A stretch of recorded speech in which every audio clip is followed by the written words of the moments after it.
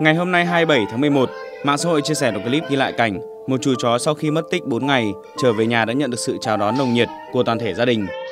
Điều khiến cộng đồng mạng chú ý là màn nhảy múa cực ngầu của thanh niên chủ nhân con vật. Đoạn clip được ghi lại vào khoảng 21 giờ 30 phút ngày 23 tháng 11. Phát hiện chú chó thất lạc trở về nhà, nam thanh niên đã gọi tên con vật, đứng giữa sân nhảy múa, thông báo những người ở bên trong. Quá vui mừng khi thú cưng trở về nhà, nam thanh niên đã chạy quanh sân ra mở cửa bế con vật vào nhà.